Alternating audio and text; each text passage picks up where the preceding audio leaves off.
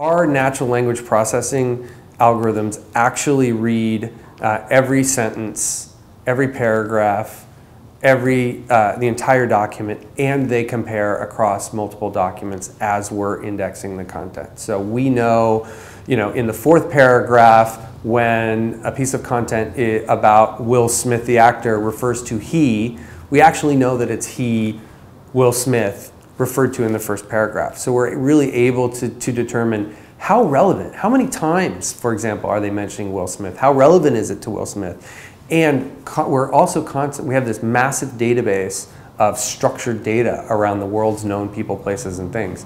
And we're constantly doing referential checks as we're indexing content against this database to ensure that we have the right Will Smith. Um, and that Will Smith didn't change from the New Orleans Saints to the Chicago Bears. And it's the same Will Smith who went to Clemson, et cetera, et cetera. So um, it's very, very smart, and it gets smarter every day. We're constantly uh, increasing the database automatically by you know, indexing uh, new Wikipedia content, other sources of structured data, Crunchbase for technology companies.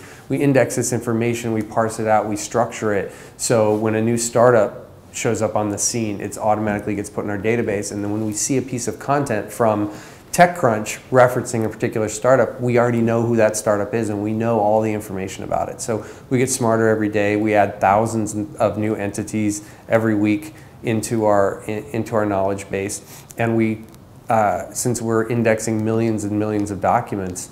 Uh, on a rolling basis, we're constantly identifying new stories, new people, new places, new trends, and that feeds into the system.